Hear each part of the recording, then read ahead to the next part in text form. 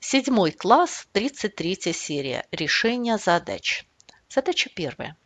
Ветер сломал дерево э, высотой 8 метров. Зеленым цветом показано сломанное дерево. Вершина этого дерева касается земли на расстоянии 4 метра от ствола. На какой высоте сломалось дерево? Ну, давайте вопрос задачи обозначим за x. То есть, допустим, дерево сломалось на высоте x метров. Если дерево было высотой 8 метров, значит, вот эта часть дерева 8 минус x. Так, и известно, что вершина находится на расстоянии 4 метра от ствола. Это прямоугольный треугольник.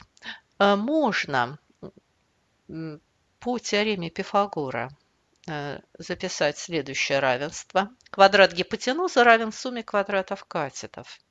Так, решая это уравнение, находим x. x равен 3. Дерево сломалось на высоте 3 метра. Задача вторая. Существуют ли такие натуральные числа x и y, удовлетворяющие вот этому уравнению? Э, по формуле разность квадратов можно представить эту разность в виде произведения двух множителей. Так, э, если x и y натуральные, значит вот в данном случае первый множитель э, будет меньше, чем второй. Как получить 27? Какие числа перемножаются? Например, 1 и 27. Либо 3 и 9. Других вариантов нет. Значит, числа натуральные существуют. Например, это числа 14 и 13. Значение разности 1, сумма 27. А либо 3 и 6. Разность 3, э, сумма 9. Значит, ответ – да, такие числа существуют. Задача третья. Расшифруйте запись. Одинаковые буквы – это одинаковые цифры. Разные буквы – разные цифры. Это двузначное число, где А десятков, С единиц. А это трехзначное. Э, а сотен, С десятков, А единиц. Но это четырехзначное. Следует обратить внимание, что четырехзначное число записывается АС АС. Значит, это четырехзначное число, независимо от того, какие значения принимают А и С, будет делиться на двузначное АС, и получится 101. Значит, А1, С0, А1. Значит, запись расшифрована. Задача четвертая. В ящике находятся один белый, три черных и три красных шара. Наугад вынимается один шар. Какова вероятность того, что взятый шар не красный? То есть белый или черный. Один белый, да три черных, четыре. Это число благоприятных исходов.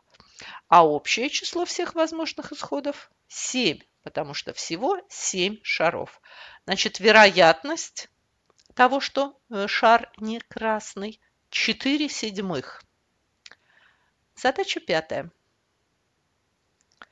Периметр э, равнобедренного треугольника 18 э, сантиметров. Разность двух сторон равна 3. Один из внешних углов острый. Это значит, данный треугольник будет тупоугольным. А тупой угол может лежать только напротив основания. Э, надо найти площадь этого треугольника. Давайте за x обозначим э, длину боковой стороны равнобедренного треугольника. В равнобедренном треугольнике боковые стороны равны. Основание э, больше на 3, потому что против основания лежит тупой угол, длина основания будет больше. Так, можно составить вот такое уравнение, потому что известно, что периметр 18, периметр сумма длина всех сторон треугольника Решая, находим x. x равен 5. Если x равен 5, значит основание 5 э, плюс 3 – 8. Так, э, итак, боковая сторона 5, основание 8. Если опустить высоту из вершины тупого угла к основанию, э, то половина основания – это 4. Можно найти по теореме Пифагора высоту треугольника. Она равна 3.